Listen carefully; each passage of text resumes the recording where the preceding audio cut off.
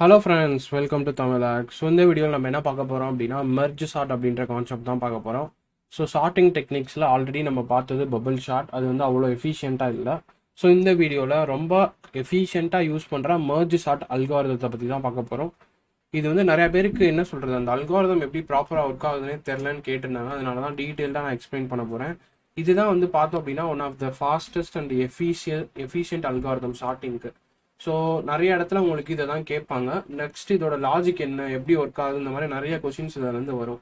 அதனால தான் கம்ப்ளீட்டாக அதோட டீட்டெயில்ஸ் எல்லாமே பார்க்க போகிறோம் ஸோ ரைட் சைடு நம்மளோட கோடிங் இருக்குது ஆல்ரெடி பேசிக்கான சின்டாக்ஸ்லாம் டிஃபைன் பண்ணியிருக்கேன் பிரிண்ட் பண்ணுறதுக்கு பிரிண்ட் மெத்தட் இருக்குது அதுக்கப்புறம் நம்ம மர்ஜ் ஷார்ட் பற்றி படிக்க போகிறோம் ஸோ அதுக்கு மட்டும் ரைட் யுவர் ஓன் கோட் அப்படின்னு மென்ஷன் பண்ணியிருக்கேன் அதாவது இப்போ நம்ம கோட் எழுத போகிறோம் அடுத்து நார்மலாக ஒரு மெத்தட் இருக்குது இங்கே வந்து பார்த்தீங்க அப்படின்னா சம் நம்பர்ஸ் இருக்குது பிஃபோர் ஷார்ட்டிங்னு போட்டு அந்த நம்பரை நான் பிரிண்ட் பண்ணுறேன் அதுக்கப்புறம் இந்த இடத்துல என்ன பண்ண போகிறோம் அப்படின்னா மெர்ஜ் ஷார்ட் அப்படின்ற நம்மளோட மெத்தடை கால் பண்ண போகிறோம் அது ஷார்ட் ஆனதுக்கப்புறம் எப்படி ஷார்ட் ஆயிருக்குன்னு சொல்லி அடுத்து பிரிண்ட் பண்ண பார்க்க பார்க்க போகிறோம் அவ்வளோதான் ரொம்ப பெருசாக எதுவுமே நம்ம பண்ணல.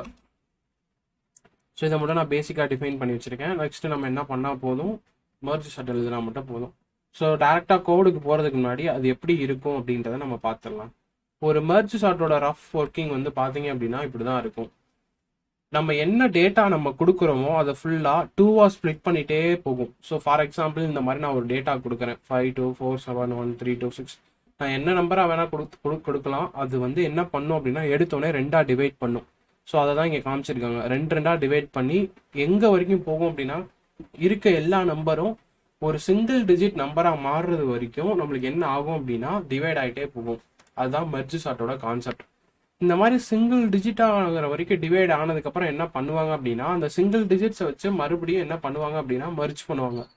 ஸோ இதில் வந்து ரெண்டு ப்ராசஸ் நடக்கும். ஸோ ஃபஸ்ட்டு ப்ராசஸ் வந்து பார்த்தீங்க அப்படின்னா ஸ்ப்ளிட்டு செகண்ட் ப்ராசஸ் வந்து பார்த்தீங்க அப்படின்னா மர்ஜ் அதுதான் ரெண்டு கலரில் காமிச்சிருக்காங்க. ஸோ இந்த ப்ளூ கலரில் காமிச்சிருக்கிறதெல்லாம் என்ன ஆகுது அப்படின்னா ரெண்டு ரெண்டாக ஸ்ப்ளிட் ஆகிட்டே இருக்குது நெக்ஸ்ட் அந்த எல்லோ கலரில் காட்டுறதெல்லாம் என்ன ஆகுது அப்படின்னா மர்ஜ் ஆகிட்டே இருக்கு. ரெண்டு பிரிஞ்சதெல்லாம் சேருது. அதான் மர்ஜ் இந்த ப்ளூ கலர்ல வந்து பாத்தீங்க அப்படின்னா உங்களுக்கு ஃபங்க்ஷனாலிட்டினா பெருசா எந்த ஃபங்க்ஷனாலிட்டியுமே நடக்காது. சும்மா டிவைட் பண்ணிட்டே போகும் இப்போ வந்து five two four செவன்னா five two four seven five two five தனியா டூ தனியா அந்த மாதிரி பிரிச்சிருச்சு. இதே இது நீங்க இந்த எல்லோ கலர் நோட் பண்ணீங்கன்னா உங்களுக்கு தெரியும். அந்த இடத்துல தான் உங்களுக்கு பேசிக் ஷார்ட்டிங்கே நடக்கும். கம்பேர் பண்ணுவாங்க. ஸோ ரெண்டு எலமெண்ட்டை கம்பேர் பண்ணி எது சின்னதோ அதை முன்னாடி போடுவாங்க. எது பெருசோ அதை அடுத்து போடுவாங்க. அந்த மாதிரி ஒவ்வொரு இந்த எல்லோ கலர் ஸ்டெப்லையும் நீங்க பாத்தீங்க அப்படின்னா உங்களுக்கு என்ன நடக்கும் அப்படின்னா கம்பாரிசன் நடந்து சின்ன எலமெண்ட்லாம் ஃபர்ஸ்ட்டும் அதோட பெரிய எலமெண்ட்லாம் ரைட் சைடும் நடக்கும். அதுக்கப்புறம் இந்த நா ரெண்டு ரெண்டா இருக்கிறது அடுத்த ஸ்டெப்ல வந்து பாத்தீங்கன்னா ஓவராலா ஸ்டார்டிங் நடக்கும். அடுத்து கீழே வந்தீங்க அப்படின்னா ஓவராலா ஃபுல்லி கம்பைண்டா ஸ்டார்டிங் நடக்கும்.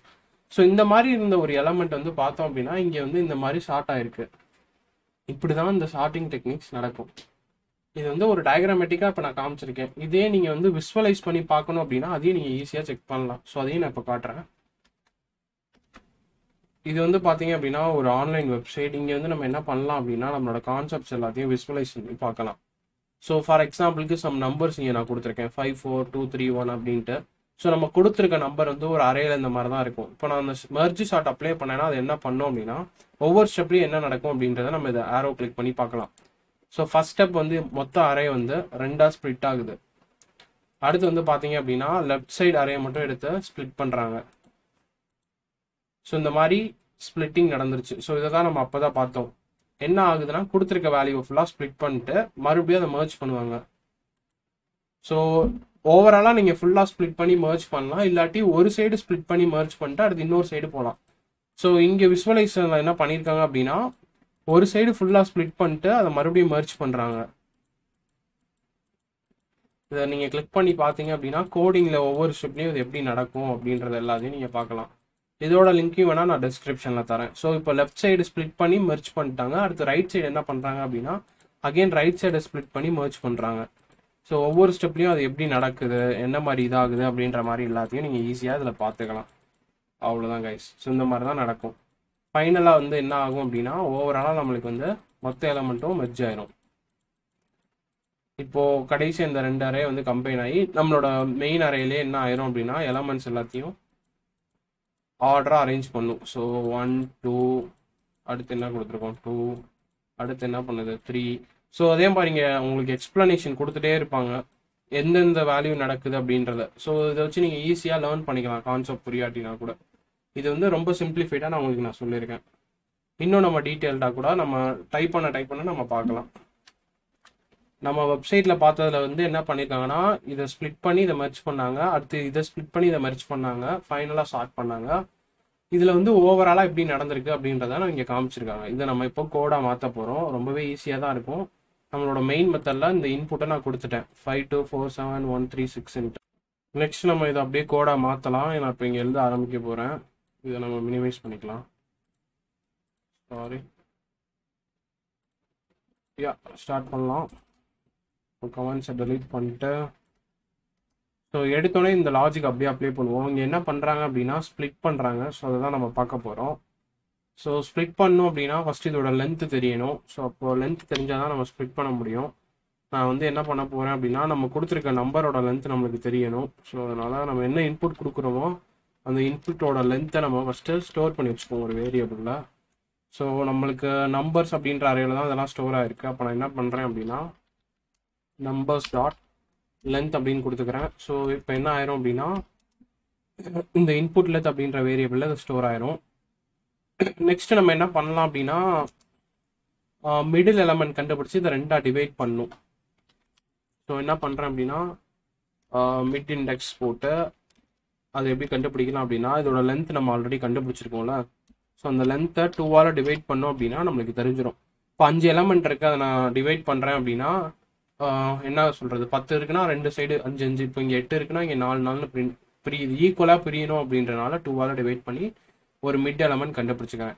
ஸோ இங்கே வந்து பார்த்தீங்க அப்படின்னா ஒவ்வொரு ஸ்டெப்லையும் என்ன ஆகுது அப்படின்னா லெஃப்ட் சைடு கொஞ்சம் இது பெரியது ரைட் சைடு கொஞ்சம் பெரியது. அப்போ ஒவ்வொன்றும் ரெண்டு சைடு ஸ்ப்ளிட் ஆகுது. ஸோ அப்போ நம்ம என்ன அடையாளத்துக்கு வச்சுக்கலாம் அப்படின்னா லெஃப்ட் சைடு ஒன்று ரைட் சைடு ஒன்று அந்த மாதிரி ஸ்ப்ளிட் ஆகுது அப்படின்றத நம்ம அடையாளத்துக்கு வச்சுட்டு அதுக்கு ரெண்டு தனி அரேஸ் நம்ம கிரியேட் பண்ணலாம். ஸோ எப்படின்னா லெஃப்ட் ஹாஃப் அப்படின்னு சொல்லிட்டு ஒரு இதை கொஞ்சம் கிரியேட் பண்ணிக்கலாம். நியூ இன்ட் இதோட லென்த் எந்த அப்படி என்ன அப்படின்னா நம்ம மிட் இண்டெக்ஸ் கண்டுபிடிச்சிருப்போம்ல இதுதான் பாதியாக பிரிஞ்சிருக்கும். ஸோ தட் ஈஸியாக இருக்கும். அதனால நம்ம அதே நம்ம இதோட லென்த்தாக ஃபிக்ஸ் பண்ணிக்கலாம்.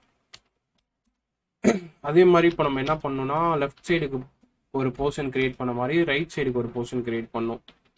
ஸோ ரைட் ஹாஃப் அப்படின்னு போடுறேன். நெக்ஸ்ட் நான் என்ன பண்ணுறேன் அப்படின்னா இதோட சைஸு இப்போ இந்த இடத்துல சைஸ் கொடுத்தோம் அப்படின்னா சம்டைம்ஸ் இப்போ எட்டு எலமெண்ட் இருக்குது அப்படின்னா நாலு நாள்னு ஈக்குவலாக பிரிஞ்சிடும் இப்போ சில கண்டிஷனில் ஒம்பது எலமெண்ட்ஸ் இருக்கும். அப்போ அந்த மாதிரி ஒன்பது எலமெண்ட்ஸ் இருந்துச்சு அப்படின்னா ஒரு சைடு நாலு ஒரு சைடு அஞ்சு நம்ம அப்படி பிரிக்கணும். ஸோ அப்போ நான் ரெண்டு சைடும் மிட்டு மிட்டுன்னு கொடுத்தேன்னா ரெண்டு சைடுமே நாலு நாலுன்னு வரும். ஒரு சைடு நாலு ஒரு சைடு அஞ்சுன்னு வராது. அப்போ எப்படி e, ஈவனாக பிரிஞ்சாலும் ஆடாக பிரிஞ்சாலும் நம்ம கரெக்டாக எழுதணும் அப்படின்றக்காக நம்ம என்ன பண்ணலாம் அப்படின்னா input length minus mid index அப்படின்னு நான் போட்டுக்கலாம். இப்படி போட்டால் என்ன ஆகும் அப்படின்னா ஃபார் இன் இன்கேஸ் எக்ஸாம்பிளுக்கு டோட்டல் வந்து நயன் நயன் இருந்துச்சு அப்படின்னா நம்ம இங்கே டிவைட் பண்ணும்போது என்ன ஆகும் அப்படின்னா ஃபோர் அப்படின்றது பிரியும். அப்போ இதுக்கு என்ன அசைன் ஆகும் அப்படின்னா ஃபோர்ன்றது அசைன் ஆயிரும். பட் மிச்சம் நயனை பிரித்தோம் அப்படின்னா எப்படி பிரிப்போம் அப்படின்னா ஃபைவ் ப்ளஸ் ஃபோர்னு தான் நம்ம பிரிப்போம். இதுக்கு நான் வெறும் மிட்டன் கொடுத்தேன்னா இதுக்கும் என்னதான் ஆகும்னா ஃபோர்ன்றது தான் அலோகேட் ஆகும். பட் எனக்கு ஃபைவ் அலோகேட் ஆகணும். ஸோ அதை மேட்ச் பண்ணுறதுக்கு தான் இந்த கண்டிஷன் கொடுத்துருக்கோம். இப்போ ஓவரால் லென்த் என்ன? நம்மளுக்கு நயன் அப்போ இது இங்கே என்ன ஆகுது அப்படின்னா நயன் மைனஸ் இங்கே என்ன பண்ணி வச்சுருக்கோம்? ஃபோர் மிட் எலமெண்ட் ஃபோர்னு கண்டுபிடிச்சிருக்கோம். அப்போ இங்கே வந்து ஃபோர் அப்படின்னு நான் கொடுத்தேன் அப்படின்னா நைன் மைனஸ் ஃபோர் என்னது? ஃபைவ் அப்போ ஈக்குவலாக புரிஞ்சிடும் லெஃப்ட் சைடுக்கு வந்து நாலு எலமெண்ட்டு ரைட் சைடுக்கு வந்து அஞ்சு எலமெண்ட் ஸோ டோட்டலாக இருக்க நயன் எலமெண்ட்ஸ் வந்து ரெண்டாக புரிஞ்சிடும் ஸோ இந்த மாதிரி ஈக்குவலாக பிரிக்கிறதுக்காக தான் உள்ளேருந்து நான் இந்த லாஜிக் போட்டிருக்கேன். இப்போ நம்ம என்ன பண்ணியாச்சுன்னா லென்த் வாங்கி ரெண்டு சைடாக பிரிச்சிருக்கோம். இங்கிட்டு பிரிக்கிறதெல்லாம் லெஃப்ட் ஆஃப்னு பிரிச்சு நம்ம அதில் வச்சுருக்கோம். இங்கிட்டு பிரிக்கிறதெல்லாம் ரைட் ஆஃப்னு பிரித்து நம்ம அதில் வச்சிருக்கோம். அவ்வளோதான் இப்போதைக்கு நம்ம பண்ணியிருக்கோம் நெக்ஸ்ட் இந்த பாதி எலமெண்ட்டை இதுக்குள்ளே நம்ம போடணும். இங்கிட்டு இருக்க பாதி எலமெண்ட்டை நம்ம இதுக்குள்ளே போடணும். அதுதான் நெக்ஸ்ட் நம்ம பண்ணணும். அது எப்படி பண்ணலாம்னா சிம்பிளாக வந்து நம்ம என்ன பண்ணலாம்னா ஒரு லூப் வச்சு நம்ம உள்ளே போடலாம் டேட்டாஸ்லாம் ஒரு ஃபார் லூப் போட்டு நம்ம அதில் என்ன பண்ணலாம்னா டேட்டாஸ்லாம் போடலாம். Int I equal to zero next என்ன பண்ணலாம்னா ஐ லெஸ் தென் இப்போ வந்து நம்ம லெஃப்ட்டுக்கு பார்க்க போகிறோம் ஸோ லெஃப்ட்டுக்கு வந்து எவ்வளோ தூரம் நடக்கணும் அப்படின்னா அதோட மிட் இண்டெக்ஸ் வரைக்கும் தான் நடக்கணும். இங்கே வந்து ஃபைவ் டூ ஃபோர் செவன்னா எனக்கு இந்த மிட் எலமெண்ட் வரைக்கும் தான் அதில் ஸ்டோர் ஆகணும். அதனால எது வரைக்கும் நடக்கணும்னா மிட் இண்டெக்ஸ் வரைக்கும் நடக்கணும் அப்படின்றத நான் இங்கே நான் சொல்லிக்கலாம். நெக்ஸ்ட்டு எங்கே முடியணும்? ஐ ப்ளஸ் ப்ளஸ் இன்க்ரிமெண்ட் ஆகிட்டு ஒவ்வொரு ஸ்டெப்லையும் எனக்கு என்ன நடக்கணும் அப்படின்னா இதில் இருக்க எலமெண்ட்லாம் எனக்கு இன்சர்ட் ஆகிட்டே இருக்கணும்.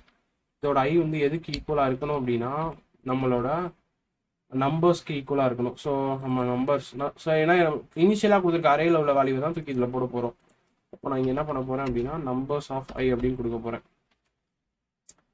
ஸோ இந்த மாதிரி இது கிரியேட் ஆகும். ஸோ ஃபர்ஸ்ட் ஸ்டெப்பில் என்ன பண்ணியிருக்கோம் அப்படின்னா எனக்கு லெஃப்ட் பொசிஷன் தேவைன்னு சொல்லி கிரியேட் மட்டும் தான் இந்த இடத்துல நம்ம பண்ணியிருக்கோம் ஸோ இந்த இடத்துல என்ன பண்ணியிருக்கோம் அப்படின்னா கிரியேட் மட்டும் தான் பண்ணியிருக்கோம் இந்த இடத்துல தான் நம்ம என்ன பண்ணுறோம் அப்படின்னா வேல்யூவை அசைன் பண்ணுறோம் ஸோ அதை நீங்கள் ஞாபகம் வச்சுக்கணும். கிரியேட் பண்ணி அசைன் பண்ணிட்டோம். அடுத்து நம்ம என்ன பண்ணோம் அப்படின்னா லெஃப்ட்டுக்கு மட்டும் தான் பண்ணியிருக்கோம் நெக்ஸ்ட் ரைட்டுக்கு பண்ணணும். ஸோ இதே மாதிரி ஃபார் போட்டு ஒரு ரைட்டுக்கு நம்ம பண்ணணும். இன்ட் இங்கே வந்து ஐ ஈக்குவல் டு ஜீரோ அப்படின்னு நான் போட்டேன் அப்படின்னா இது தப்பாயிரும்.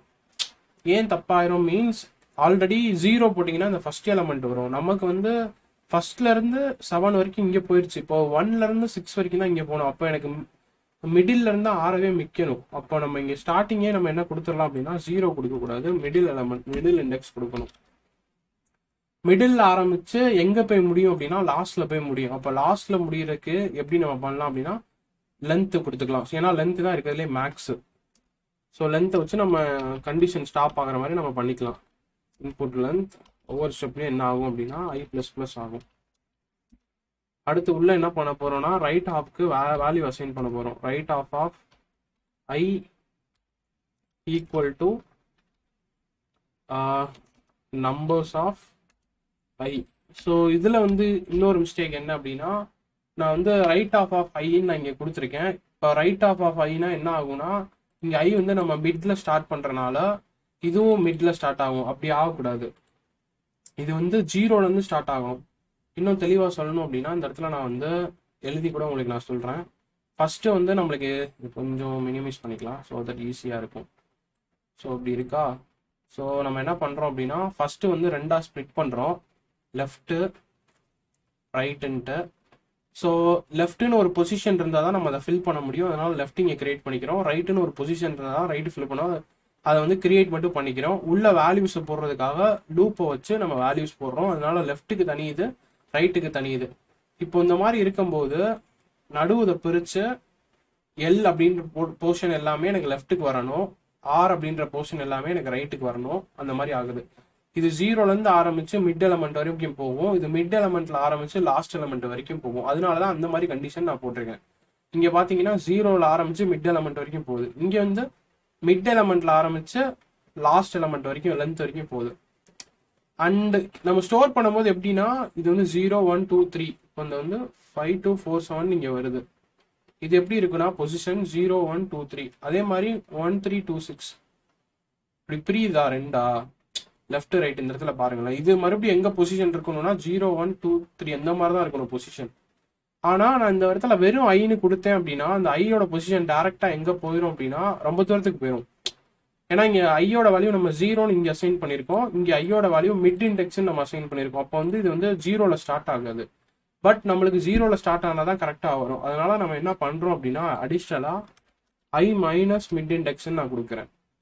இதனால என்ன ஆகும் அப்படின்னா ஐயோட வேல்யூ மிட் இண்டெக்ஸ் நம்ம மிட் இண்டெக்ஸையும் மறுபடியும் மைனஸ் பண்ணோம் அப்படின்னா அந்த வேல்யூ மைனஸ் அந்த வேல்யூ பண்ணுறனால ரெண்டும் மைனஸ் ஆகி ஜீரோன்னு ஆயிரும். அப்போ இதோட பொசிஷன் ஜீரோலேருந்து ஸ்டார்ட் ஆகும். So that zero one two three அந்த மாதிரி நமக்கு போயிட்டே இருக்கும். ஸோ அதனால தான் இந்த லாஜிக் ஸோ இதில் வந்து நீங்கள் நிறையா இது கரெக்டாக பார்க்கணும். லெஃப்ட் ஆஃபாக இருந்தால் ஏன் இந்த இடத்துல மிடில் கண்டிஷன் போடுறோம்? ஜீரோவில் ஸ்டார்ட் பண்ணுறோம் ரைட் ஆஃபாக இருந்தால் ஏன் இங்கே மிடில் ஸ்டார்ட் பண்ணி லென்த் வரைக்கும் போகிறோம் அப்படின்றதெல்லாம் நீங்கள் கரெக்டாக நோட் பண்ணி வச்சுக்கணும். அதுக்கு தான் நான் அந்த மாதிரி சொன்னேன். ஏன்னா ஸ்ப்ளிட் பண்ணி நம்ம போடுறோம். அதனால லெஃப்ட் எங்க ஸ்டார்ட் ஆகி எங்க முடியுது? ரைட் எங்க ஸ்டார்ட் ஆகி எங்க முடியுது? அந்த லாஜிக்லாம் நீங்க கரெக்டா ஞாபகம் வச்சுக்கணும். அது அப்பதான் உங்களால இதை கரெக்டா எழுத முடியும். இப்போ இது எல்லாத்தையும் நம்ம எதுக்கு பண்ணியிருக்கோம் அப்படின்னா ஃபர்ஸ்ட் ஸ்டெப்புக்கு பண்ணியிருக்கோம். இந்த டயக்ராமை நீங்க பிரிச்சீங்க அப்படின்னா இது வந்து ஜீரோத்து ஸ்டெப் இது கொஸ்டின்லேயே கொடுத்துருப்பாங்க. இது ஃபர்ஸ்ட் ஸ்டெப் இது செகண்டு இது தேர்டு ஸோ இந்த மாதிரி பண்ணிட்டே இருக்கணும். இப்போ இதை நம்ம பிரிச்சுட்டோம். மறுபடியும் அந்த பர்டிகுலர் வேல்யூவை எடுத்து அதை ரெண்டா பிரிக்கணும். ஸோ இப்போ ஃபைவ் டூ ஃபோர் செவன் அப்படின்றத பிரிக்கிறதுக்கு தான் இந்த கோடு நெக்ஸ்ட் என்ன பண்ணணும்னா இதை பிரித்து ஃபைவ் டூன்னு பிரிக்கணும். அதுக்கடுத்த ஸ்டெப்பில் இதை ஃபைவ் தனியாக டூ தனியாக பிரிக்கணும். இந்த மாதிரி again and again and again ஒரே விஷயத்த நம்ம பண்ணிட்டே இருக்கணும். அப்போ இந்த கோடையே நீங்கள் திருப்பி திருப்பி எழுதிக்கிட்டே இருப்பீங்களா? அப்படி எழுதிட்டே இருந்தீங்கன்னா அது எஃபிஷியன்ட்டே கிடையாது. அண்ட் எத்தனை வாட்டி எழுதணும்னு சொல்ல முடியாது. இந்த இன்புட்டுக்கு நீங்கள் எப்படி எழுதுவீங்க? பட் இன்புட் மாற மாற நீங்கள் எத்தனை வாட்டி எழுதுவீங்களா? அப்பப்போ பண்ண முடியாது. ஸோ அப்பதான் நம்ம புதுசாக என்ன கான்செப்ட் கொண்டு வருவாங்க அப்படின்னா ரெக்கர்சன் அப்படின்ற கான்செப்ட் அதாவது ஒரே விஷயத்த திருப்பி திருப்பி நடக்குது. ரெண்டா ஸ்பிளிட் ஆகுது ரெண்டா ஸ்பிளிட் ஆகுது ரெண்டா ஸ்பிளிட் ஆகுது. ஸோ நிறைய வாட்டி என்ன ஆகுதுன்னா ரெண்டா ஸ்பிளிட் ஆகிட்டே தான் இருக்கு. அப்போ திருப்பி திருப்பி நடக்கிறனால ரெக்கர்சன் நம்ம வந்து இது ஃபுல்லாக அகைன் நம்ம எழுத தேவையில்ல. நம்ம என்ன பண்ணிக்கலாம் அப்படின்னா இதே அகைன் அகைன் நம்ம கால் பண்ணிக்கலாம். இந்த மெத்தடோட பேர் மர்ஜி ஷாட் அகைன் நான் மர்ஜி ஷாட் கொடுத்து இதுக்குள்ள நான் என்ன கொடுக்க போறேன் அப்படின்னா இந்த லெஃப்ட் ஹாஃப் அப்படின்ற அறையை நான் பாஸ் பண்ண போறேன். அப்போ என்ன ஆகும்? நான் மறுபடியும் இந்த left half five two four கொடுத்துருக்கேன் இது உள்ள பாஸ் ஆகி இது மறுபடியும் ஃபைவ் டு ஃபோர் செவன் தனியாக பிரியும். மறுபடியும் ப்ராசஸ் ஆகி வரும். அப்போ அந்த ஃபைவ் டூன் இருக்கிறது என்ன ஆகும் அப்படின்னா ஃபைவ் தனியாக டூ தனியாக ரெண்டாக ஸ்ப்ளிட் ஆகும். ஸோ இந்த லாஜிக் உள்ள போய் போய் அப்ளை ஆகி அகைன் அண்ட் அகைன் இந்த மாதிரி புரிஞ்சுட்டே இருக்கும். இது லெஃப்ட் சைடு ஃபுல்லாக நடக்கிறதுக்கு. அதே மாதிரி எனக்கு ரைட் சைடும் நடக்கணும்ல அப்போ என்ன பண்ணணும் அப்படின்னா இதை அகைன் நான் கால் பண்ணி மெர்ஜ் ஷாட்டை கால் பண்ணி உள்ளே வந்து நான் என்ன பண்ண போகிறேன் அப்படின்னா right of sorry right of அப்படின்றத நான் போட்டேன் அப்படின்னா அகைன் ரைட் ஆஃபில் வர இந்த ஒன் த்ரீ டூ சிக்ஸ் என்ன ஆகும்னா இந்த மெத்தடில் உள்ள வழியா போய் இந்த இடத்துல பாஸ் ஆகி அது ரெண்டாக ஸ்ப்ளிட் ஆகி வரும். அப்புறம் ஒன் த்ரீ நம்மளுக்கு கிடைக்கும். அந்த ஒன் த்ரீ என்ன ஆகும் அப்படின்னா அகைன் இதுக்குள்ளே போய் ஒன் த்ரீ அப்படின்றது தனித்தனியாக ஸ்ப்ளிட் ஆகி வரும். இந்த மாதிரி நடந்துட்டே இருக்கும். ஒரு கட்டத்துல நீங்க எந்த நம்பர் கொடுத்தாலும் இந்த மாதிரி ஸ்பிளிட் ஆகி ஸ்பிளிட் ஆகி ஒரு கட்டத்துல என்ன ஆயிரும் அப்படின்னா அதோட லென்த் வந்து சிங்கிள் டிஜிட்டா மாறிடணும். ஸோ இதை நம்ம எப்போ ஸ்டாப் பண்ணணும் அப்படின்னா ஒரு சிங்கிள் டிஜிட்டா அது மாற போது நம்ம ஸ்டாப் பண்ணணும். அந்த கண்டிஷனை நம்ம ஸ்பெசிஃபை பண்ணணும்.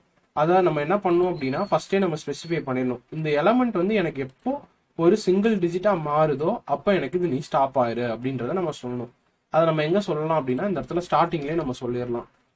ஸோ ஒரு இஃப் கண்டிஷன் போட்டு இஃப் நம்ம லென்த் கண்டுபிடிக்கிறோம்ல நம்ம உள்ளே பாஸ் பண்ணுற வேல்யூவோட லென்த் சாரி இஃப் நம்ம அந்த லென்த் வந்து டூவை விட சின்னதாக இருந்துச்சு அப்படின்னா எனக்கு என்ன ஆயிரணும் அப்படின்னா இந்த ஃபங்க்ஷன் ரிட்டர்ன் ஆகி எனக்கு ஸ்டாப் ஆயிரணும் அப்படின்றத நான் இந்த இடத்துல சொல்கிறேன் ஏன்னா இப்போ இந்த இடத்துல பாருங்களேன் இதுதான் last step five two four இதோட லென்த் என்னவா இருக்கும்? ஒன்னா இருக்கும். அப்போ கண்டிப்பாக ரெண்டை விட எனக்கு சின்னதாக இருக்கணும். சின்னதாக இருந்தால் மட்டும்தான் எனக்கு இது ஸ்டாப் ஆகணும் அப்படின்னு நான் சொல்கிறேன் ஏன்னா நீங்க மினிமம் ரெண்டு இருந்தா கூட நீங்க ஸ்ப்ளிட் பண்ணணும். இந்த இடத்துல பாத்தீங்கன்னா எக்ஸாம்பிளுக்கு ஃபைவ் டூ அப்படின்னு இருக்கு. மினிமம் ரெண்டு இருந்தா கூட நம்ம என்ன பண்ணணும் அதை? ஃபைவ் தனியா டூ தனியா நம்ம ஸ்ப்ளிட் பண்ணணும். அதுதான் இந்த மர்ஜி ஷாட்டோட கான்செப்டே ஸோ அப்போ மினிமம் ரெண்டு இருந்தால் எனக்கு ஆகக்கூடாது. ரெண்டை விட கம்மியாக இருந்துச்சு அப்படின்னா எனக்கு இந்த ஃபங்க்ஷன் ஸ்டாப் பண்ணணும் அப்படின்னு நான் சொல்கிறேன் அண்ட் இன்னொரு டவுட் வரும். இதே நீங்கள் ஸ்டார்டிங்கில் கொடுக்குறீங்க அப்படின்ட்டு. ஏன்னா நம்ம ஒவ்வொரு வாட்டியும் செக் பண்ணணும். இப்போ நீங்கள் கொடுக்குற எலமெண்ட்டே ஃபார் எக்ஸாம்பிள் ஃபைவ் அப்படின்னு ஒரு நம்பரை கொடுத்து நீங்க ஷார்ட் பண்ணுன்னு சொல்றீங்க. ஒரு சிங்கிள் நம்பரை நம்மளால ஸ்ப்ளிட் பண்ண முடியுமா? பண்ண முடியாது. ஸோ அதனால தான் அதை எடுத்தோடனே நம்ம செக் பண்றோம். பட் நம்ம இந்த மாதிரி ஒரு வேல்யூ கொடுத்தோம் அப்படின்னா அதை செக் பண்ணும். லென்த் எப்படியும் பெருசா இருக்கும். அதனால இது தேவையில்லை. எக்ஸிக்யூட் ஆகி இந்த மாதிரி நடந்துட்டே இருக்கும். ஸோ இப்போ நம்ம எழுதிட்டோம் கோடு அவ்வளோதான் ரொம்பவே சிம்பிள் இப்போ நம்ம எது வரைக்கும் கோடு எழுதியிருக்கோம் அப்படின்னா ஸ்ப்ளிட் பண்ற வரைக்கும் தான் எழுதியிருக்கோம். ஸோ நான் ஃபர்ஸ்டே சொன்ன மாதிரி இதுல வந்து ரெண்டு கான்செப்ட்ஸ் இருக்கு. என்னென்ன கான்செப்ட்ஸ் அப்படின்னா ஒன்று வந்து ஸ்ப்ளிட் பண்ணுறது அதாவது இந்த ப்ளூ கலரில் இருக்க ஃபார்மேட் இப்போ இதை தான் நம்ம பண்ணியிருக்கோம் இப்போ ஓவராலாக என்ன சொல்கிறது இந்த ஃபுல் கோடை நம்ம ரன் பண்ணிட்டு அவுட்புட் பிரிண்ட் பண்ணி பார்த்தோம் அப்படின்னா இந்த ப்ளூ கலரில் லாஸ்ட் ஸ்டேட் இருக்குல்ல அதில் வந்து நம்மளுக்கு நிற்கும் நெக்ஸ்ட்டு நம்ம என்ன பண்ணணும் அப்படின்னா இதை ஃபுல்லாக சாரி இதை ஃபுல்லாக நம்ம நெக்ஸ்ட் என்ன பண்ணணும் அப்படின்னா செகண்ட் ஸ்டெப்பில் மெர்ஜ் பண்ணும் இப்போ நெக்ஸ்ட் அதோட கோடு எழுதணும். அதோட கோடு நம்ம எழுதிட்டோம் அப்படின்னா நம்மளோட சார்ட்டிங் மெத்தட் கம்ப்ளீட் ஆயிரும். அவ்வளோதான் ரொம்பவே சிம்பிள் ஸோ ஸ்பிளிட்டிங் பண்ணுற கோடு உங்களுக்கு புரியுதான்னு பாருங்க. இந்த இடத்துல ஸ்டார்ட் ஆகுது இந்த இடத்துல முடியுது. இன்னொரு வாட்டி நான் எக்ஸ்பிளைன் பண்ணுறேன் நம்மளோட லென்த்தை நம்ம வாங்கிக்கிறோம். அது வந்து ரெண்டை விட கம்மியாக இருந்துச்சுன்னா அங்கேயே ரிட்டர்ன் பண்ணி இந்த மெத்தடை ஸ்டாப் பண்ணிடணும். இல்லை அப்படின்னா அது எவ்வளோ நம்பராக இருக்கோ அதை நம்ம நடுவில் டூவால் டிவைட் பண்ணி ரெண்டாக பிரிக்கிறோம். பிரிக்கிறத லெஃப்ட் சைடு ஒரு போர்ஷனாகவும் ரைட் சைடு ஒரு போர்ஷனாகவும் வச்சுக்கணும். லெஃப்ட் சைடு போர்ஷனை ஃபுல்லாக லெஃப்ட் சைடு போர்ஷனில் இன்சர்ட் பண்ணுறோம் ரைட் சைட் போர்ஷன்லாம் ரைட் சைடில் இன்சர்ட் பண்ணுறோம் அகைன் இந்த லெஃப்ட் ரைட்டை உள்ளே பாஸ் பண்ணி இந்த மாதிரி அது வந்து ஒரு சிங்கிள் டிஜிட் நம்பர் வர வரைக்கும் நம்ம ஸ்ப்ளிட் பண்ணிகிட்டே போகிறோம் அவ்வளோதான் ரொம்ப முடிஞ்சு. இங்கேயே பார்த்தீங்கன்னா அந்த ஐகான் மாறி இருக்கு பாருங்களேன். ஸோ இது ரிக்வஸ்டனை மீன் பண்ணுது. அவ்வளோதான் இப்போ உங்களுக்கு ஓரளவுக்கு இது புரிஞ்சிருக்கும்னு நினைக்கிறேன். இதை நீங்கள் பாஸ் பண்ணிட்டு அப்படியே அனலைஸ் பண்ணி பாருங்கள் இந்த கோடு உங்களுக்கு எக்ஸாக்டாக புரியுதா அப்படின்றது எல்லாத்தையும் நீங்கள் செக் பண்ணி பாருங்கள் இது புரிஞ்சிருச்சு அப்படின்னா நம்ம அடுத்தடுத்து ஈஸியாக போகலாம். ஓகே இப்போ நம்ம மெர்ஜுக்கு கோட் எழுத போகிறேன் மெர்ஜியும் இதுலேயே நான் எழுதினேன் அப்படின்னா கொஞ்சம் குழப்படி ஆகும். அதனால நான் என்ன பண்ணுறேன் அப்படின்னா இதை நான் க்ளோஸ் பண்ணிட்டு மெர்ஜுக்கு தனி மெத்தடே க்ரியேட் பண்ணிடுறேன். அதுக்கப்புறம் அதை நான் ஈஸியாக கால் பண்ணிக்கலாம். So public static void merge mostly நிறைய பேர் இதுக்குள்ளேயே எழுதுவாங்க. பட் உங்களுக்கு குழப்பிடக்கூடாதுன்றக்காக இதை நான் மினிமைஸ் பண்ணிட்டு தனியாக மெர்ஜ் அப்படின்னே ஒரு மெத்தட் எழுதுறேன். உங்களுக்கு நல்லா புரிஞ்சிருச்சு அப்படின்னா நீங்கள் இதெல்லாம் ஒரு சிங்கிள் மெத்தட்லேயே நீங்கள் எழுதிக்கலாம். ஸோ இந்த மெர்ஜ் நம்ம பண்ணணும் அப்படின்னா நம்மளுக்கு மினிமம் என்ன தேவை அப்படின்னா ரெண்டு எலமெண்ட் தேவை. அதாவது இந்த ஸ்டெப்ல இருந்து தான் உங்களுக்கு மெர்ஜ் ஸ்டார்ட் ஆகுது. ஸோ உங்களுக்கு ரைட் சைடு எலமெண்ட் தேவை லெஃப்ட் சைடு எலமெண்ட் தேவை. அதுக்கப்புறம் நீங்கள் மெர்ஜ் பண்ணி வைக்கிறதுக்கு ஒரு சேர்த்து வைக்கிறதுக்கு ஒரு அவுட்புட் இது தேவை. ஸோ இந்த மாதிரி மூணு தேவை. அதனால நான் என்ன பண்ணிக்கிறேன் அப்படின்னா இன்ட்டு போட்டு நம்மளோட ஓவரால் நம்பர்ஸு அடுத்த இன்னொரு அறையில் நம்ம என்ன பண்ணிக்கலாம் அப்படின்னா இன்ட் அறையில் நம்மளோட லெஃப்ட் ஹாஃப் ஹாஃப் அதை நம்ம மென்ஷன் பண்ணிக்கலாம். பிகாஸ் ஒரு லெஃப்ட் சைடு ஹாஃப் ஒரு ரைட் சைடு ஹாஃப் அதை எடுத்து தான் மெர்ச் பண்ணுது. அதே மாதிரி இந்த சைடில் ஒரு லெஃப்ட் ரைட் எடுத்து தான் அது மெர்ச் பண்ணுது. அதனால இதுக்கு மூணு எலமெண்ட் தேவை. அந்த மூணு எலமெண்ட்டை வச்சு நம்ம கிரியேட் பண்ணிக்கலாம். ரைட் ஆஃப் வச்சு லெஃப்ட் ரைட் ஆஃப் போட்டேன்.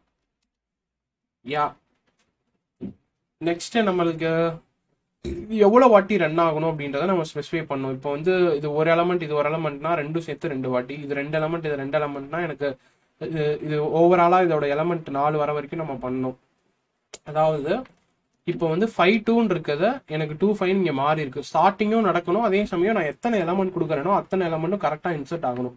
நம்ம இதில் ரெண்டு விஷயம் செக் பண்ணணும் அப்போது கண்டிப்பாக அதோட லென்த் நம்மளுக்கு தெரிஞ்சிருந்தா நம்ம ஈஸியாக பண்ணலாம். அதனால நம்ம என்ன பண்ணோம் அப்படின்னா எடுத்த உடனே அதோட சைஸை நம்ம நோட் பண்ணி வச்சுக்கலாம். So left half dot length அப்படின்னு போட்டோம் அப்படின்னா நம்மளுக்கு அதோட சைஸ் தெரிஞ்சிடும் அதே மாதிரி ரைட் சைடோட சைஸ் வேணும் அப்படின்னா ரைட் சைஸ் அப்படின்னு நான் போட்டு அதோட சைஸையும் நான் நோட் பண்ணி வச்சுக்கிறேன். ரைட் ஹாஃப் அதோட லென்த் பிகாஸ் லென்த் உங்களுக்கு நிறையா வாட்டி யூஸ் ஆகிட்டே இருக்கும். இது ரெண்டுமே நம்மளுக்கு தெரிஞ்சால் மட்டும்தான் நம்ம என்ன சொல்கிறது கரெக்டாக பண்ணுறோமா இல்லையா அப்படின்றத நம்ம செக் பண்ணிட்டே வர முடியும். அதனால தான் அது ரெண்டையும் நான் போட்டு வச்சிருக்கேன். அதுக்கப்புறம் இன்னொரு இளம் இன்னொரு இது நம்மளுக்கு என்ன தேவை அப்படின்னா இது எப்படி ரன் ஆக போகுது அப்படின்றது நம்மளுக்கு தெரியணும். ஸோ அதை நம்ம பார்க்கணும். இன்னும் சிம்பிளிஃபைடாக சொல்லணும் அப்படின்னா அதை நான் எரேஸ் பண்ணிட்டு உங்களுக்கு நான் எக்ஸ்பிளைன் பண்ணுறேன் ஸோ தட் உங்களுக்கு கொஞ்சம் ஈஸியாக புரியும். இப்போ நம்ம எந்த ஸ்டெப்பில் இருக்கோம் அப்படின்னா இந்த ஸ்டெப்பில் இருக்கோம். ஃபார் எக்ஸாம்பிள் ஃபைவ் டூ இப்படி தனித்தனியாக இருக்குது இது நம்ம என்ன பண்ணணும் அப்படின்னா மெர்ஜ் பண்ணி டூ ஃபைவ்னு மாற்றணும் ஸோ இதில் நம்ம என்னெல்லாம் பண்ணணும் அப்படின்னா இங்கே என்ன எலமெண்ட் இருக்கோ அதை நம்ம ட்ராக் பண்ணணும். லெஃப்ட் சைடு இருக்க எலமெண்ட்டை ட்ராக் பண்ணணும். ஸோ அதுக்கு நான் ஒரு ஐன்ற வேரியபிள் நான் வச்சுக்கிறேன்.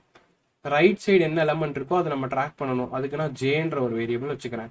அதுக்கப்புறம் நம்மளோட ஃபைனல் அவுட்புட் ஒன்று இருக்குல்ல ஸோ அதோட தான் நம்ம ட்ராக் பண்ணணும். ஸோ அதோட தான் ட்ராக் பண்ண நான் கேன்னு ஒரு வேரியபிள் வச்சுக்கிறேன். பிகாஸ் இந்த ஒன் டூ த்ரீ மூணு விதமான அரேஸ் இருக்குது நம்ம மூணையும் ட்ராக் பண்ணணும். கரெக்டாக பண்ணுறோமா இல்லையான்ட்டு. அதனால மூணுக்கும் ஒரு ஒரு வேரியபிள் ஐ ஜே கேன்னு வச்சுக்கிறேன். இதை வச்சு நான் என்ன பண்ணுறேன் அப்படின்னா ட்ராக் பண்ணிட்டே இருக்கேன்.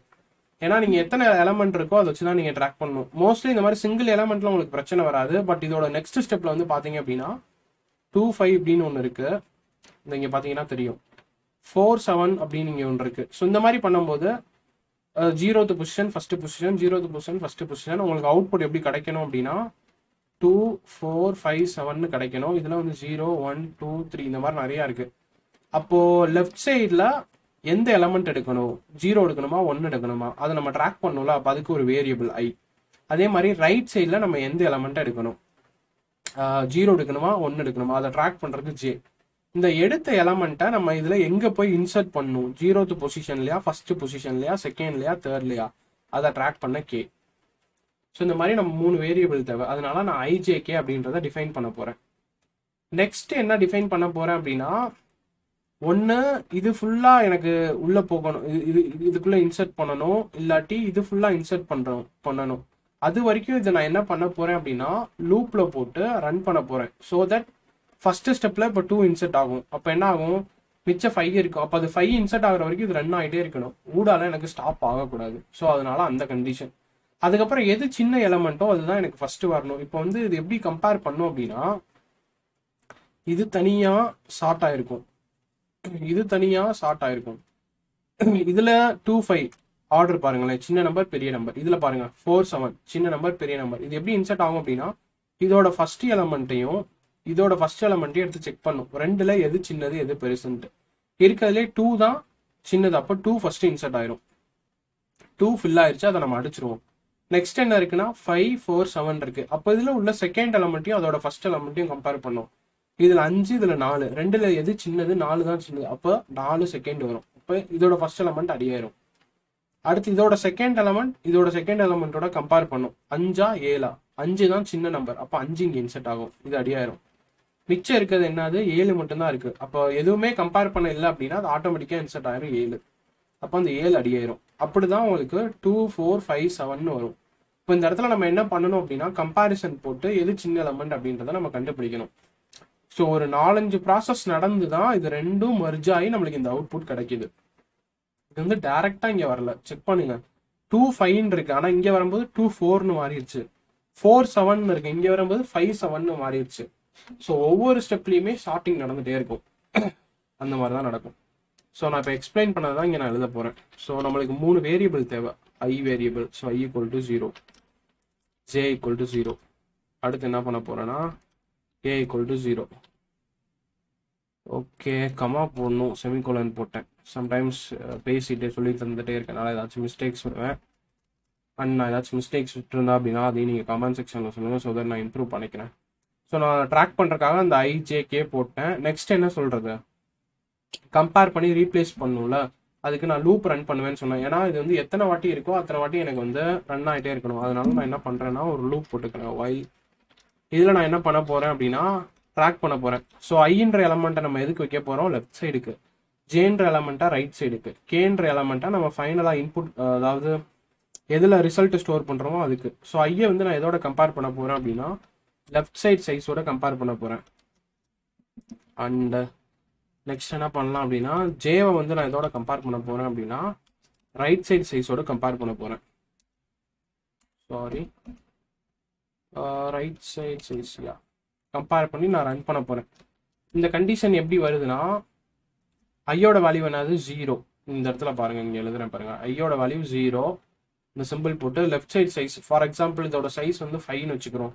அப்போ என்ன ஆகும் அப்படின்னா இந்த கண்டிஷன் ட்ரூ ஆகிற வரைக்கும் நடந்துகிட்டே இருக்கும். அஞ்சு அஞ்சா அப்போ மொதல் அஞ்சாவது எலமெண்ட் அடுத்து நாலு அடுத்து மூணு அடுத்து ரெண்டு அடுத்து ஒன்று அஞ்சு எலமெண்ட் இருக்குன்னா அந்த அஞ்சு எலமெண்ட் இன்செர்ட் ஆகிற வரைக்கும் எனக்கு இது நடக்கணும். இப்போ இங்கே நாலு எலமெண்ட் இருக்கா? அப்போ எனக்கு நாலு எலமெண்ட் இன்செர்ட் ஆகிற வரைக்கும் நடக்கணும். எல்லா எலமெண்ட்டும் இன்செர்ட் ஆகி இன்கேஸ் இது ஜீரோவோ இல்லை மைனஸில் போச்சோ அப்படின்னா எனக்கு எலமெண்ட்டே இருக்காது. இன்செர்ட் பண்ண அப்போ இந்த லூப் கண்டிஷன் ஃபெயில் ஆயிரும். இது லெஃப்ட் சைடுக்கு அதே மாதிரி எனக்கு ரைட் சைடுக்கும் நடக்கணும். ஏன்னா நம்ம லெஃப்ட் சைடு ரைட் சைடு ரெண்டையும் சேர்த்து தான் நம்ம ஃபைனல் அவுட்புட் ஒவ்வொரு ஸ்டெப்லையும் கொண்டு வரோம். அதை நீங்கள் மறந்துடக்கூடாது? ஸோ அதனால அது. ஓகே அதுக்கப்புறம் உள்ள நம்ம என்ன பண்ணணும்னு நம்ம சொல்லலை. உள்ள நம்ம டேரெக்டாக அப்படியே போடுறோமா? அந்த டூ ஃபைவ் அப்படியேவா கீழே இருக்கிறோம்? இல்லை சார்ட்டிங் பண்ணி பண்ணுறோம் ஸோ அதனால என்ன பண்ண போகிறேன் அப்படின்னா இஃப் கண்டிஷன் இஃப் கண்டிஷன் போட்டு நான் செக் பண்ண போகிறேன் லெஃப்ட் ஹாஃபோட ஐ நம்மளோட செக் பண்ணுற கண்டிஷன் போட்டு ரைட் சைடு ஹாஃபோட ஜே சாரி ஜே வரும். யா செக் பண்ணிட்டு பண்ண போகிறோம் இப்போ வந்து நான் என்ன பண்ணுறேன்னா இந்த இடத்துல சொன்ன கான்செப்ட் தான். மறுபடியும் அழிச்சிட்டு இன்னொரு வாட்டி சொல்கிறேன் ஸோ தட் உங்களுக்கு ஈஸியாக புரியும். எழுத எழுத உங்களுக்கு நான் செஞ்சு காட்டுறேன். இந்த இடத்துல நம்ம சைஸ் ஏன் இந்த மாதிரி போட்டுக்கோன்னு சொல்லிட்டேன். இப்போ வந்து டூ ஃபைவ் ஃபோர் செவன் இந்த லாஜிக் எக்ஸாம்பிளுக்கு uh, எடுத்துக்குவோம். இது வந்து ஜீரோ ஒன் இது வந்து ஜீரோ ஒன் அப்படின்னு இருக்கும் இந்த கண்டிஷன் படி இப்போ என்ன அப்படின்னா இது வந்து லெஃப்ட் சைடு இது வந்து ரைட் சைடு ஸோ ஐயோட வேல்யூ என்ன? இனிஷியலாக ஜீரோ ஜேயோட வேல்யூ என்ன? இனிஷியலாக ஜீரோ அப்போ நம்ம என்ன பண்ண போகிறோம்னா இதோட ஜீரோவையும் இதோட ஜீரோவையும் எடுத்து கம்பேர் பண்ண போகிறோம் so two greater than or equal to four அப்படி நம்ம பார்க்குறோம். அப்போ என்ன ஆகுதுன்னா இந்த கண்டிஷன் ட்ரூ ஆகுது. ட்ரூ தான். ஏன்னா டூவை விட ஃபோர் பெருசு. அப்போ நம்ம எதை செட் பண்ணணும் அப்படின்னா சின்ன எலமெண்ட்டா இந்த தான் நம்ம ஸ்மாலஸ்ட் எலமெண்ட் இதை நம்ம செட் பண்ணணும். அப்போ நான் என்ன பண்ண போறேன்னா உள்ள அதை தான் நான் பண்ண போறேன். அப்போ நம்பர்ஸ் அப்படின்றதுல போயிட்டு கேத்து பொசிஷன்ல என்ன பண்ண போறேன் அப்படின்னா எதை செட் பண்ண போறேன்னா லெஃப்ட் ஹாஃபை நான் செட் பண்ண போறேன். எந்த பொசிஷன்னா ஐயோட பொசிஷன் இப்போ நம்ம லெஃப்ட் ஹாஃபோட ஐயை நம்ம செட் பண்ணனால நம்ம ஐயை ப்ளஸ் ப்ளஸ் பண்ண போறோம். ஸோ என்ன பண்ணியிருக்கேன் அப்படின்னா கம்பேர் பண்ணதுல நமக்கு டூ தான் இருக்கிறதுல சின்னதுன்னு தெரிஞ்சிருச்சு. அப்போ நம்ம ஃபைனலோட நம்பர்ஸ்ல நான் என்ன பண்ண போறேன் அப்படின்னா இனிஷியலாக கேவோட வேல்யூ ஜீரோ இப்போ கேவோட ஜீரோத்து பொசிஷன்ல டூவை நான் இன்செர்ட் பண்றேன். ஸோ அதுக்கு தான் இந்த செகண்ட் லைன் மீனிங் இப்போ லெஃப்ட் சைடில் வந்து நான் வந்து ஜீரோவை இன்சர்ட் பண்ணிட்டேன். அப்போ இதை யூஸ் ஆயிருச்சு. அப்போ இது எதுவுமே எனக்கு தேவையில்ல. ஜீரோவை ப்ளஸ் ப்ளஸ் கொடுத்து ஒன்னாக மாற்றிடுறேன் ஸோ அதனால தான் இந்த ஐ ப்ளஸ் ப்ளஸ் போடுறேன். அப்போ இது என்ன ஆயிரும்னா ஃபர்ஸ்ட் எலமெண்ட் இன்சென்ட் ஆனதுனால செகண்ட் எலமெண்ட்டுக்கு இது போயிடும் முடிஞ்சிருச்சு. இன்கேஸ் இந்த கண்டிஷன் ஃபெயில் ஆயிடுச்சு அப்படின்னா நம்ம எல்ஸ் என்ன போடலாம் அப்படின்னா இதோட உல்டாவை அப்படியே நம்ம போட்டுடலாம். நம்பர்ஸ் ஆஃப் கேல வந்து நம்ம என்ன பண்ணலாம் அப்படின்னா ஐயை வைக்கிறதுக்கு பதிலாக ஜேயை நம்ம வச்சிடலாம். ஸோ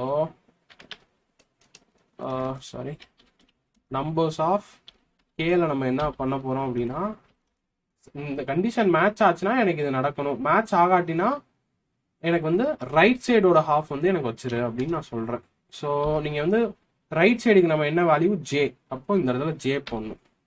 இதை மட்டும் நீங்கள் மறந்துடக்கூடாது. லெஃப்ட் சைடு போட்டால் அதை நம்ம இன்க்ரிமெண்ட் பண்ணோம் ரைட் சைடு போட்டால் அதை நம்ம இன்க்ரிமெண்ட் பண்ணோம் அப்போ இங்கே ஜே ப்ளஸ் ப்ளஸ் இது ரைட் சைடுக்கு இது லெஃப்ட் சைடுக்கு முடிஞ்சிருச்சு. நீ வந்து லெஃப்ட் சைட்ல இருந்து ஒரு வேல்யூ போட்டாலும் சரி ரைட் சைட்ல இருந்து ஒரு வேல்யூ போட்டாலும் சரி எப்படியோ ஒரு வேல்யூ கண்டிப்பா இங்கே ஃபில் ஆயிரும். அப்போ இதை என்ன பண்ணும் அப்படின்னா ஒவ்வொரு ஸ்டெப்லையும் இதை இன்க்ரிமெண்ட் பண்ணிட்டே போகணும். புரியுதா? நீங்க லெஃப்ட்ல இருந்து போடுறன்றக்காக லெஃப்ட் இங்க ட்ராக் பண்றோம். ரைட்ல இருந்து போடுறன்றக்காக ரைட் இங்க ட்ராக் பண்றோம். ஆனா எப்படியோ ஒரு வேல்யூ நம்ம மெயினா ஆன்சருக்கு போட்டுட்டே இருப்போம். அப்போ ஒவ்வொரு வாட்டியும் அதை ட்ராக் பண்ணும். ட்ராக் பண்ணும் மீன்ஸ் அதோட பொசிஷனை இன்க்ரிமெண்ட் பண்ணிட்டே போகணும். அதனால கே பிளஸ் பிளஸ் நான் இங்கே போடுறேன். அவ்வளோதான் ஓரளவுக்கு நம்ம முடிச்சிட்டோம். ஸோ இவ்வளோதான் மெர்ஜ் கான்செப்ட்டு இந்த ஒரு அஞ்சு லைனை உங்களுக்கு புரிய வைக்கணுன்றக்காக தான் இவ்வளோ எக்ஸ்ப்ளனேஷன் கொடுத்துருக்கேன். எதுக்கு இந்த லென்த்தை கண்டுபிடிக்கிறோம்? எதுக்கு இந்த கண்டிஷன் இங்கே போடுறோம்? எதுக்கு இது எப்படி போடுறோம்? இது எப்படி போடுறோம்? அப்படின்ற மாதிரி எல்லாத்தையும். நம்மளோட வயல் லூப் முடிஞ்சிருச்சு. அவ்வளோதான் மெரிச்சு முடிஞ்சிருச்சு. இது எப்போ இந்த இது சாட்டிஸ்ஃபை ஆகும் அப்படின்னா ஈக்குவல் நம்பர் இருந்தால் தான் இது வந்து சாட்டிஸ்ஃபை ஆகும். ஃபார் எக்ஸாம்பிள் எல்லாமே ஈவனாக ஸ்ப்ளிட்டாக இருக்குது இந்த இடத்துல வந்து டூ ஃபைவ் ரெண்டு நம்பர் ஃபோர் செவன் ரெண்டு நம்பர் அதே மாதிரிங்க two four seven five seven நாலு நம்பர் இங்கே வந்து ஒன் டூ த்ரீ சிக்ஸ் நாலு நம்பர் இந்த மாதிரி ஈவன் ஈவனாக ஸ்ப்ளிட் ஆனால் இந்த கண்டிஷன் மேட்ச் ஆகும். சம்டைம்ஸ் நீங்கள் கொடுக்குற நம்பரில் வந்து ஒரு சைடு ஈவனாகவும் ஒரு சைடு ஆடாகவும் வரும். ஃபார் எக்ஸாம்பிள் இதே கொஷின்லேயே நான் வந்து இப்போ என்ன பண்ணுறது அடிஷ்னலாக வந்து சிக்ஸுக்கு பக்கத்தில் எக்ஸ்ட்ரா ஒரு ஒரு டென் ஆட் பண்ணுறேன்னு வச்சுக்கோங்களேன். இது எப்படி பிரியும் அப்படின்னா five two four seven one அப்படி பிரிஞ்சுட்டு இந்த இடத்துல த்ரீ டூ சிக்ஸ் டென் அப்படின்னு பிரியும். ஒரு சைடு அஞ்சு நம்பர் ஆகும் ஒரு சைடு நாலு நம்பர் ஆகும் பிரியும். அந்த மாதிரி சுச்சுவேஷனில் இந்த லூப்பில் என்ன ஆயிரும் அப்படின்னா இது ஒரு முதல் நாலு நம்பர் கரெக்டாக வேலை செய்யும் இது நாலு நம்பர் கரெக்டாக வேலை செய்யும். இந்த கடைசி இருக்க நம்பர் ஒன்று இந்த சைடோ இல்லை இந்த சைடோ கடைசி இருக்க நம்பர் சம்டைம்ஸ் என்ன ஆயிரும் அப்படின்னா விட்டு போயிடும் அப்போ அந்த ஒரு நம்பர் மட்டும் என்ன ஆகும் அப்படின்னா மிஸ்மேட்ச் ஆயிரும் சரியாக இன்சர்ட் ஆகாது. ஸோ அதை இன்செர்ட் பண்ணுறதுக்கு நம்ம என்ன பண்ணலாம் அப்படின்னா ஒரு வாட்டி லெஃப்ட் சைடு இருக்க எலமெண்ட் எல்லாமே ரைட் சைடு இருக்க எலமெண்ட் எல்லாத்தையும் நம்ம என்ன பண்ணலாம் அப்படின்னா ட்ராவல்ஸ் பண்ணிடலாம். ஸோ எப்படி பண்ணலாம் அப்படின்னா நம்ம இங்கே வந்து ரெண்டையும் அண்டு போட்டிருக்கனால என்ன ஆகும் அப்படின்னா இது அண்ட் இது ஈக்குவலாக இருந்தால் மட்டும்தான் இது நடக்கும். எப்படின்னா இப்போ வந்து இதுவும் ஈக்குவல் இதுவும் இதுவும் ஃபோர் அதுவும் ஃபோர் அந்த மாதிரி சேம் சைஸாக இருந்து மேட்ச் ஆனால் தான் சம்டைம்ஸ் இது நடக்கும். இன் இன்கேஸ் ஈவன் அன்ஈவனாக இருந்துச்சு அப்படின்னா அதுக்கு நம்ம என்ன பண்ணலாம் அப்படின்னா தனியாக ஒரு வாட்டி போட்டு வெரிஃபை பண்ணிடணும். எப்படின்னா numbers of I equal to left half of I இந்த மாதிரி. இது என்ன பண்ணிரும் அப்படின்னா ஏதாச்சும் லெஃப்ட் சைடோ இல்லை ரைட் சைடோ ஏதாச்சும் ஒரு நம்பர் விட்டு போயிருச்சு. இல்லை எக்ஸ்ட்ராவாக ஒரு நம்பர் தொங்கல்ல இருக்கு.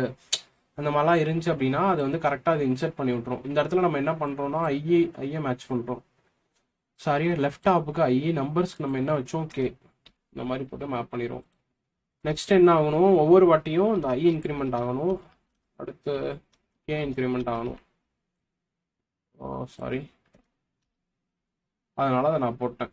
இதே இதை மறுபடியும் காப்பி பண்ணி நம்ம ரைட் சைடுக்கு பண்ணணும். ஸோ இந்த இடத்துல லெஃப்ட் சைஸ்க்கு பதிலாக ரைட் சைடோட சைஸு லெஃப்ட் ஹாஃப்க்கு பதிலாக ரைட் சைடோட ஹாஃபு ரைட் ஹாஃபுக்கு வந்து நம்ம ஜே வேரியபிள் யூஸ் பண்ணோம். அதனால ஜே இந்த இடத்துல ஐக்கு பதிலாக ஜே ஸோ இந்த ஓவரால் கண்டிஷன் என்ன பண்ணிடும் அப்படின்னா நம்மளுக்கு ஏதாச்சும் வேல்யூஸ் ஏதாச்சும் ஒரு சைடு விட்டு போயிருந்துச்சு அப்படின்னா அதுக்கேற்ற மாதிரி பண்ணும். அண்ட் லெஃப்ட் சைடுக்குனால ஐயை கம்பேர் பண்ணுறோம் ரைட் சைடுக்குனால நம்ம ஜேவை கம்பேர் பண்ணோம். யா இப்போ எல்லாமே கரெக்ட் ஆயிடுச்சு ஸோ இதுதான் வந்து பார்த்தீங்க அப்படின்னா உங்களுக்கு மெர்ஜோட ஃபங்க்ஷன் இப்போ மெர்ஜ் ஷார்ட்டில் போய் அடிஷ்னலாக நம்ம என்ன பண்ணணும் அப்படின்னா இது எல்லாம் முடிஞ்சதுக்கப்புறம் எனக்கு வந்து ஒவ்வொரு வாட்டியும் நீ வந்து மெர்ஜ் பண்ணணும் அப்படின்றத நான் சொல்லிடுறேன். இதில் வந்து நம்ம பாஸ் பண்ணணும். என்னெல்லாம் பாஸ் பண்ணணும்னா number left half right half so வந்து numbers left half right half so இது என்ன பண்ணுன்னா ஒவ்வொரு ஸ்டெப்லையும் கால்குலேட் பண்ண பண்ண இது மெர்ச் பண்ணிட்டே இருக்கும். அவ்வளோதான் முடிஞ்சிருச்சு. இப்போது நம்ம முடிச்சிடலாம். நம்மளோட மெயின் மெத்தடில் போயிட்டு இன்புட் நம்பர் கொடுத்துட்டோம். பிஃபோர் ஷார்ட்டிங் பிரிண்ட் பண்ணுறோம் மெர்ஜ் ஷார்ட் கால் பண்ணுறோம் ஆஃப்டர் ஷார்ட்டிங் பிரிண்ட் பண்ணுறோம் ரன் பண்ணுவோம். என்ன ஆகுதுன்னு பார்ப்போம். யா பில்ட் ஆகிட்டு இருக்கு ஜஸ்ட் ஒரு ஃபைவ் செகண்ட்ஸ் வெயிட் பண்ணுங்க. Yes five two four seven one three two six after sorting five two four seven one three two six okay நம்மளுக்கு before and after same input தான் வந்திருக்கு. என்ன மிஸ்டேக்குன்னு செக் பண்ணுவோம். ஒன் செகண்ட் ஓகே என்ன மிஸ்டேக்குன்னு பார்ப்போம். நம்மளோட மெயின் லாஜிக்கில் எந்த மிஸ்டேக்குமே இல்லை. நம்மளோட மெர்ஜ் லாஜிக்கில் யா எந்த மிஸ்டேக்குமே இல்லை. நம்மளோட மெர்ஜ் ஷார்ட்டில் எதுவும் மிஸ்டேக் பண்ணியிருக்கோமா யா இந்த இடத்துல பாருங்களேன் நான் வந்து மாற்றி போட்டேன் சிம்பிளை ஸோ டூவை விட எப்பயுமே பெருசாக இருந்துச்சு அப்படின்னா எனக்கு ரிட்டர்ன் ஆயிருன்னு நான் போட்டேன். அப்போ தப்பில் டூவை விட சின்னதாக இருக்கணும். யா சிம்பிளை மாற்றி போட்டோம் பாருங்க. ஒரு சின்ன சிம்பிளை மாற்றி போட்டனால நம்மளுக்கு அவுட்புட்டே மாறி வந்துருச்சு. இந்த சிம்பிளை மாற்றிட்டோம் இப்போ மினிமைஸ் பண்ணிடலாம். இப்போ அகெயின் ரன் பண்ணுறேன் yeah five two four seven one three two six இந்த மாதிரி நம்ம ஒரு இன்புட் கொடுத்துருக்கோம். கீழே வந்து பார்த்தீங்கன்னா one two two three four five six seven நம்மளுக்கு வந்து ஷார்ட்டிங் நடந்துருச்சு. பிஃபோர் ஷார்ட்டிங் ஆஃப்டர் ஷார்ட்டிங் அவ்வளோதான் ஸோ இப்படி தான் உங்களுக்கு மெர்ஜ் ஷார்ட் யூஸ் ஆகும். ஸோ நிறைய இடத்துல உங்களுக்கு இந்த மெர்ஜ் ஷார்ட்டோட கான்செப்டை இந்த மாதிரி ஃபுல் டீட்டெயிலாக எழுத சொல்லுவாங்க. ஸோ அதனால் லாஜிக் புரிஞ்சுக்கிட்டீங்க அப்படின்னா நீங்கள் எப்போனாலும் எழுதலாம். இதோட அட்வான்டேஜஸ் என்னன்னு கேட்பாங்க. இருக்கிறதுலே one of the best sorting method இதுதான். அதாவது ரொம்ப கம்மியான டைம் தான் எடுத்துக்கிறோம். ஸோ இதோட டைம் காம்ப்ளெக்சிட்டின்னு பார்த்தோம் அப்படின்னா N log n so order of N log n N log n means இருக்கிறதே ஒன் ஆஃப் த பெஸ்ட்டுன்னு அந்த மாதிரி ஞாபகம் வச்சுக்கோங்க. இன்னும் நீங்கள் வந்து அந்த டைம் காம்ப்ளெக்சிட்டி ஸ்பேஸ் காம்ப்ளெக்சிட்டிலாம் படிக்கும்போது உங்களுக்கே தெரியும். என் லாகன்னா என்ன அதோட அர்த்தம் என்னன்ட்டு. பட் இப்போதைக்கு இருக்கிறதே one of the best sorting method அப்படின்றத நம்ம மர்ஜி ஷார்ட்டை நம்ம சொல்லிக்கலாம். பிகாஸ் இப்போ வந்து ஒரு ஒன் மில்லியன் நம்பர்ஸை நீங்கள் ஷார்ட் பண்ணோம் அப்படின்னா மர்ஜி ஷார்ட்டில் வந்து பார்த்தீங்க அப்படின்னா ஒரு என்ன சொல்கிறது ஒரு தேர்ட்டி செகண்ட்ஸ்க்குள்ளே நீங்கள் என்ன பண்ணலாம் அப்படின்னா ஷார்ட்டிங் பண்ணலாம். மேக்ஸிமம் நான் சொல்கிறது இதே இதை வந்து நம்ம ஆல்ரெடி பார்த்த பபுள் ஷாட்டில் நீங்கள் பண்ணீங்க அப்படின்னா அது தேர்ட்டி மினிட்ஸ் வரைக்கும் கூட ஆகும். தேர்ட்டி மினிட்ஸ் அரை மணி நேரம் எங்கே இருக்குது முப்பது செகண்ட் எங்கே இருக்குது ஸோ அப்போ அதுலேயே உங்களுக்கு தெரியுது அப்படின்னா எவ்வளோ எஃபிஷியன்ட் அப்படின்றத. ஸோ அந்த மாதிரி நீங்கள் பார்த்துக்கோங்க. அவ்வளோதான் காய்ஸ் நம்ம மெர்ஜ் ஷார்ட் பார்த்தாச்சு. உங்களுக்கு இந்த கான்செப்ட்ஸ்லாம் புரிஞ்சிருக்கும்னு நினைக்கிறேன். உங்களுக்கு ஏதாச்சும் கோட்ஸ் வேணும் அப்படின்னா அதை கொஞ்சம் ஜூம் அவுட் பண்ணுறேன் நீங்கள் வந்து என்ன பண்ணலான்னா அந்த வீடியோவை பாஸ் பண்ணிட்டு நீங்கள் இதை நோட் பண்ணிக்கலாம். ஸோ மெர்ஜ் ஸ்டார்ட் வந்து இங்கே ஸ்டார்ட் ஆகி உங்களுக்கு இங்கே முடியுது. அந்த இந்த கான்செப்ட் வந்து ஃபுல்லாகவே இங்கே இருக்குது அவ்வளோதான் ஃப்ரெண்ட்ஸ் இந்த மாதிரி மோர் கோடிங் டாபிக்ஸோடு உங்களை நான் என்னோட நெக்ஸ்ட் வீடியோவில் பார்க்குறேன். Bye friends